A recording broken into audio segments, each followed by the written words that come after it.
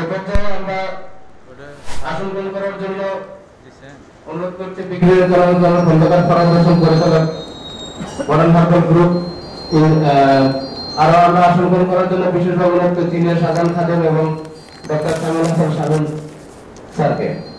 এই মুহূর্তে আমরা অনুষ্ঠান শুরু বিসমিল্লাহির রহমানির রহিম। আপনারা সকলে আমার সালাম শুভেচ্ছা ও ভালোবাসা গ্রহণ করুন। আমাদের আজকের মহান অতিথি, বিশেষ অতিথিগণ সকলেই আমাদের মাঝে আসছেন। প্রধান অতিথি কিছুক্ষণের মধ্যেই রওনা করবেন। উনি বারবার জানিয়েছেন যে সাড়ে এগারোটা প্লাস উনি আসবেনই। তা আলহামদুলিল্লাহ উনি আসার পূর্বেই আমাদের অনুষ্ঠান আরম্ভ করার জন্য অনুমতি দিয়েছেন।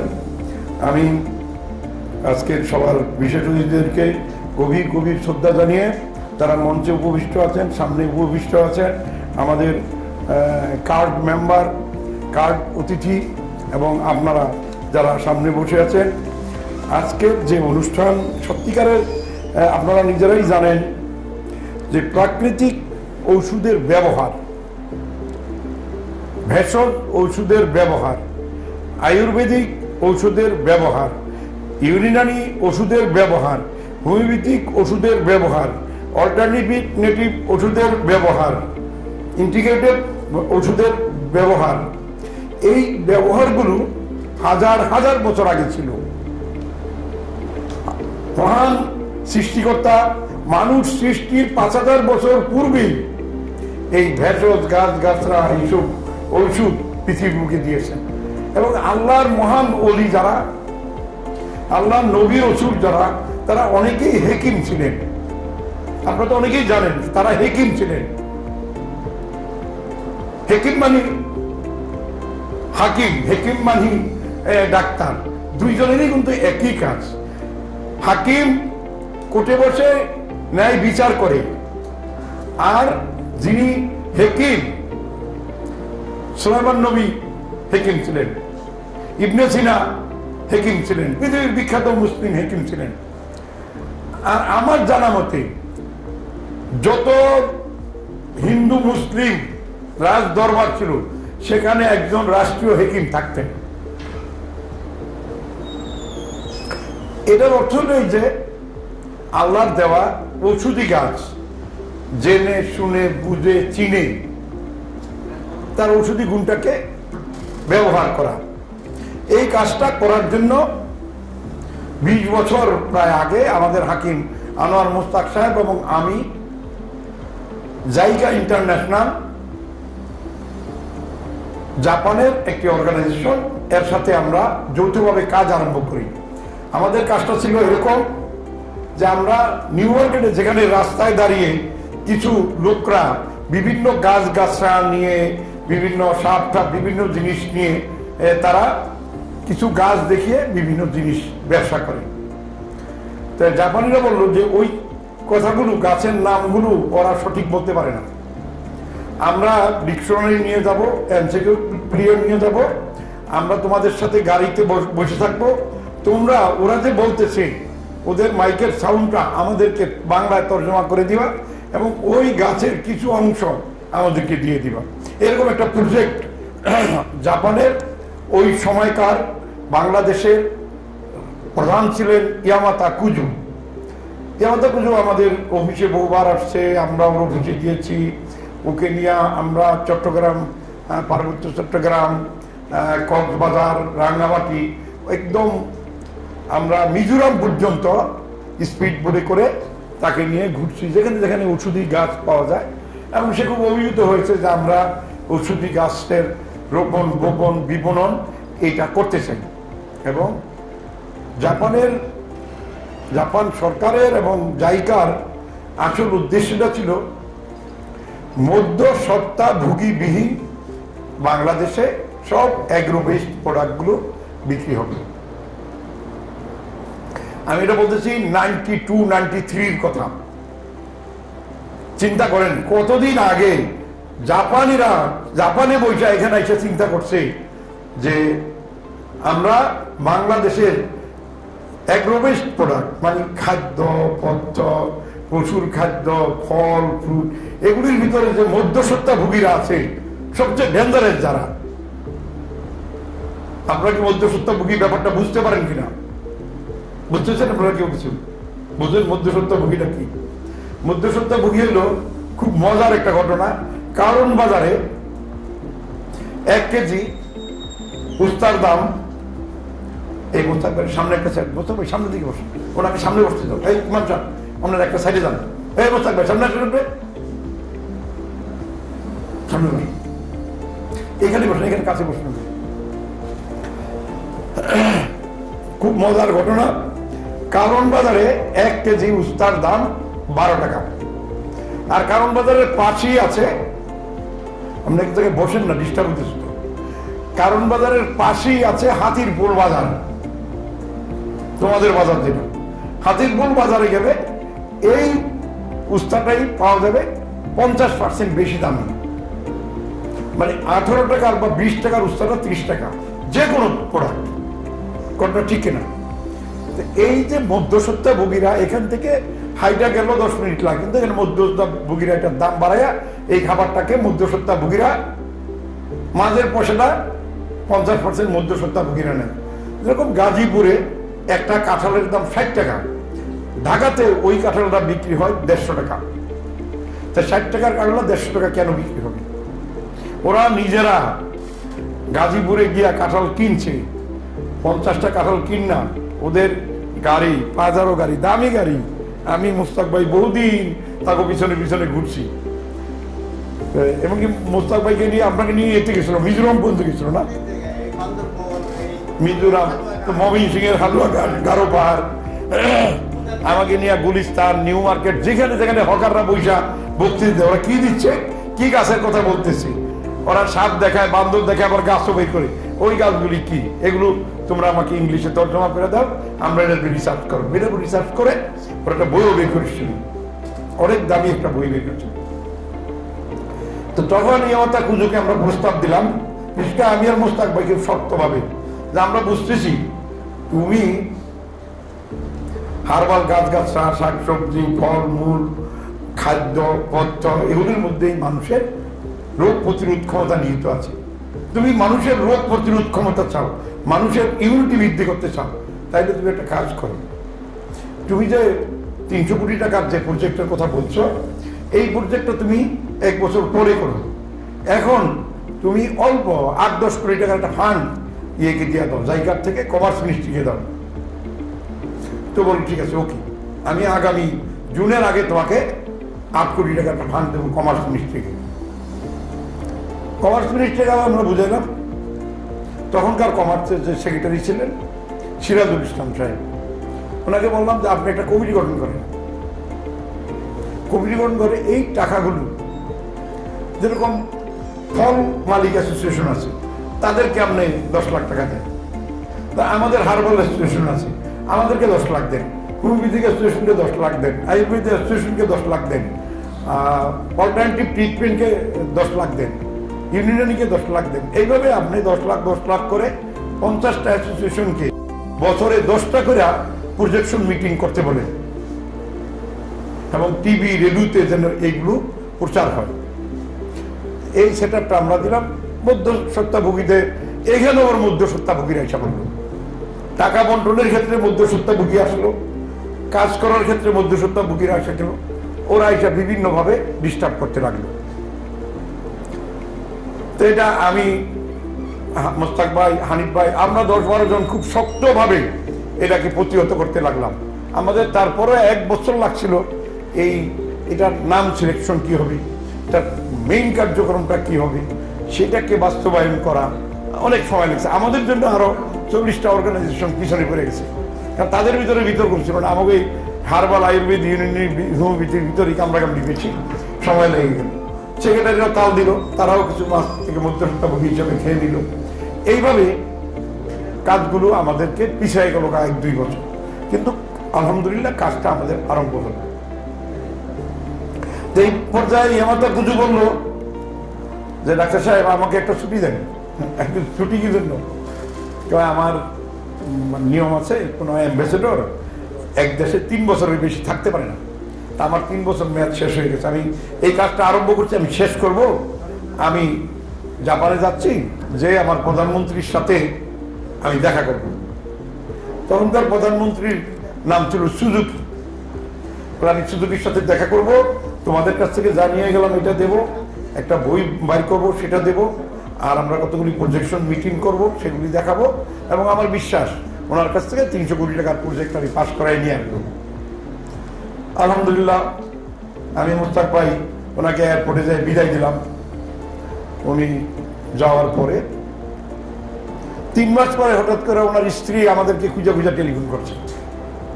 বলছে, কুজু তো কালকে রাতে মারা গেছে। মোস্তাক ভাই, মনে আছে না? কুজু যেদিন মারা গেল, আমাদেরকে ওর হোয়াইট সিটি দিয়ে জানাইলো। তো ওর ওয়াইফ সিটিতে আমাদেরকে বলল যে কুজু তো মারা গেছে। তবে কুজু মারা যাওয়ার একদিন আগেও আমাকে বলে গেছে, তোমাদেরকে বলতে যে, ও মারা গেল, ও এরকম সিস্টেম করে গেছে, তোমাদের সাথে তাদের সম্পর্ক অবিচ্ছেদ্য থাকবে। মাঝে প্রায় পাঁচ বছরের ইতিহাস। ও মারা যাওয়ার পরে আসলে প্রজেক্ট আর এখানকার জাপান এখানকার জাপান এমবেসি অ্যাম্বাসেডর এরা ওইভাবে আগাইতে চাইতেছে না। ওরা বলতে চাইতেছে, আমরা কয়েকজন জাপান থেকে, চীন থেকে হারবাল ডাক্তার এনে দিব, তারা তোমাদের সাথে চিকিৎসা করবে। এবং অলরেডি ওরা ফার্স্ট সেক্রেটারি পদমর্যাদায় একজন ডাক্তার, কাইজুম। ওই কাইজুম দিল আমাদের অফিসে। ওই কাইজুম প্রতিদিন সকালে আসতো, বিকালে যাইতো, আমাদের সাথে ফ্রি রুগী দেখা আরম্ভ করল। এর থেকে কাইজুম কিছু আইডিয়াও নিল। এইভাবে এই কাজটা, নামটা এখন বিবিসি বিজনেস প্রমোশন কাউন্সিল কিন্তু এর পিছনে আমাদের বহু শ্রম আছে। একটা দুটো প্রতিটা কাজে আমরা এটার সাথে যুক্ত করে দিল অ্যালটমেন্টের টাকা যখন এসে গেছে, তখন যুক্ত হয়ে গেল সতেরোটা মন্ত্রণালয়। মিটিংয়ে বসলে দুইটা মন্ত্রণালয় আছে, তিনটা মন্ত্রণালয় আছে, আর বাকিগুলো আসে না কোথাও হারবাল একটা জিনিস হলো নাকি?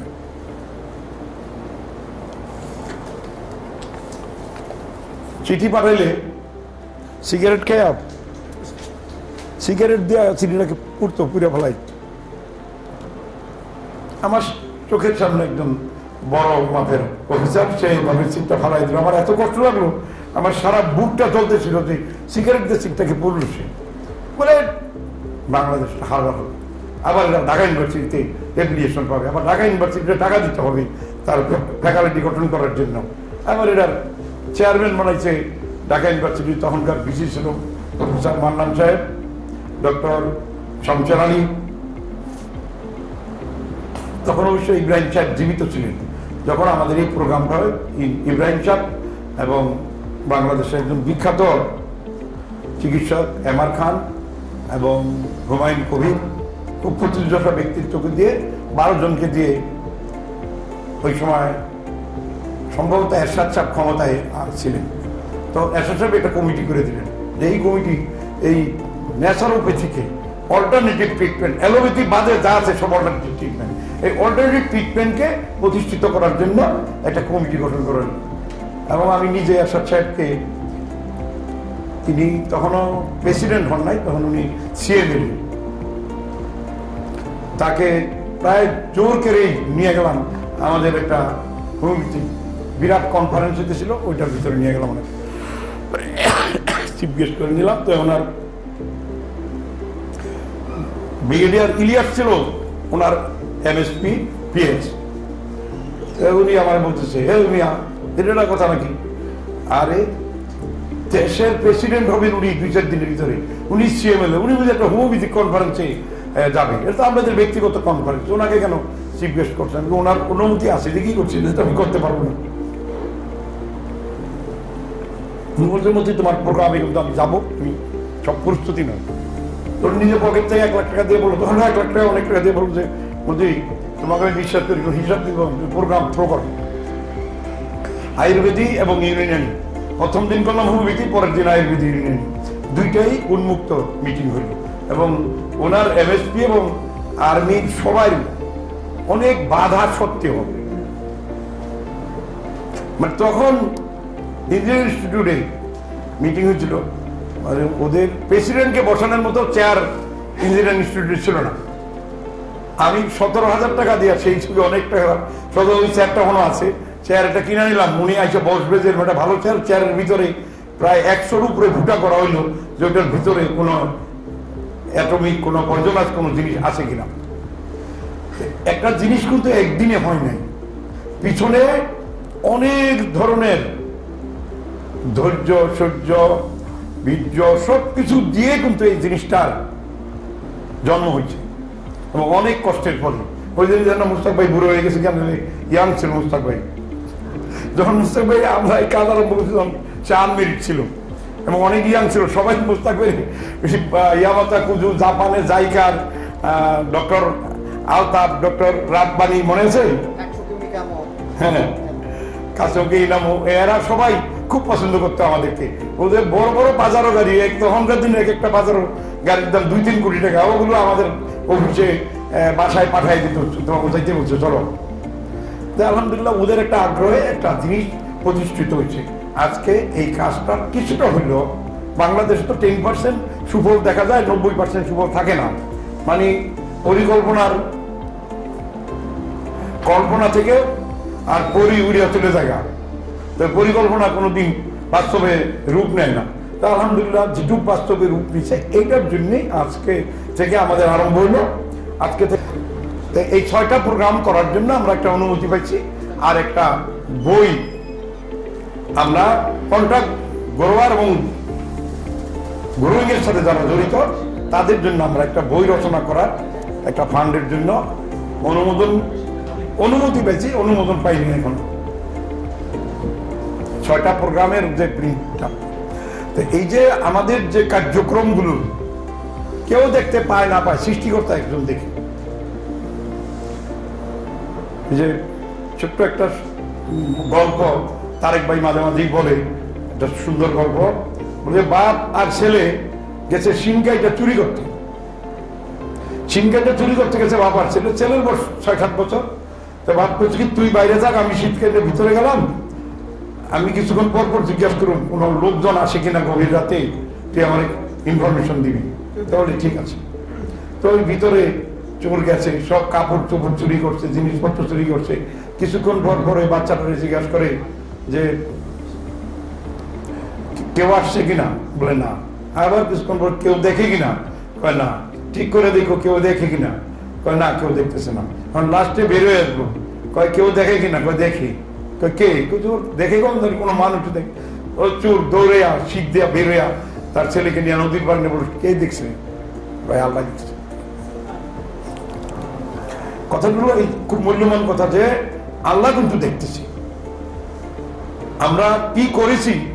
এই দেশে হোমিওপ্যাথিকে ডিগ্রি দেওয়ার জন্য, আয়ুর্বেদিক ডিগ্রি দেওয়ার জন্য অনেকে ভুলে গেল। মানুষ কিন্তু একদিন না একদিন এটা স্মরণ করে। বঙ্গবন্ধু মুক্তিযুদ্ধের জন্য, এদেশকে স্বাধীন করার জন্য, তার যে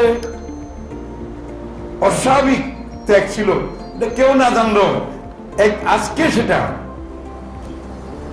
চল্লিশ বছর পরে আজকে এসে সেটা মানুষ স্মরণ করতেছে।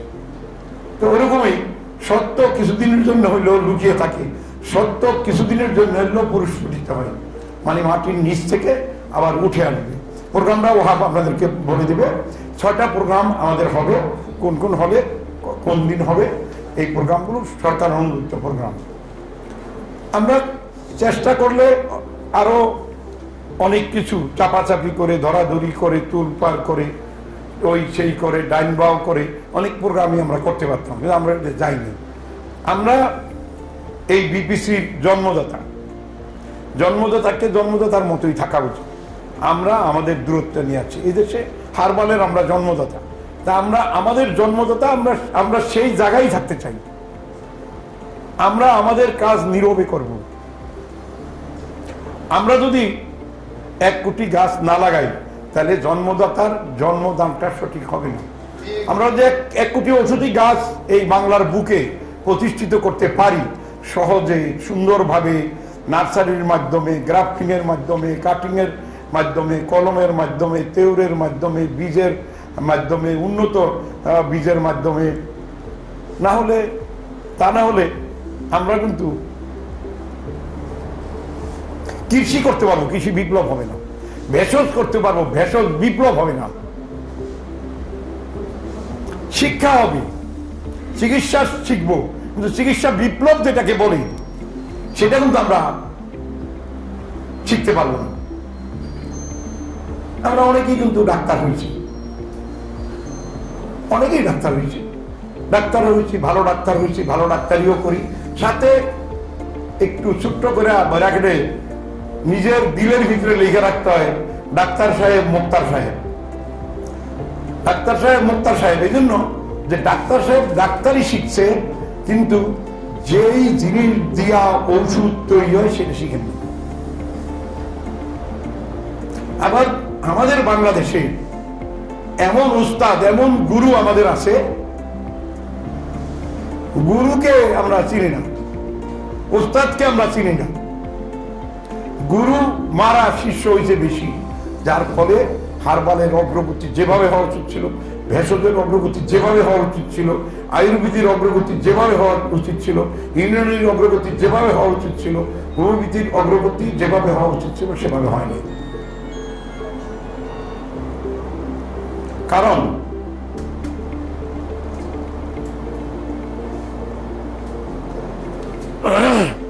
আমরা যা শুনি, তা মানি না। যা শুনি, তার উপরে আমাদের একিন নাই। যা শুনি, তার প্রতি আমাদের কোনো বিশ্বাস নাই। যা শুনি, তার প্রতি আমাদের কোনো আস্থা নাই। যা শুনি, তার প্রতি আমাদের ভালোবাসা নাই। আমি হাকিম আনোয়ার মুস্তাক, আমাদের এই কোম্পানির একজন অসম্ভব কর্মবীর, দীর্ঘ প্রায় চল্লিশ বছর না? চল্লিশ বছর, হানিফ ভাই প্রায় পঁয়ত্রিশ বছর আমাদের এই কোম্পানির সাথে, আমাদের সাথে আছে এবং সৎ ন্যায় ও সত্যের পথে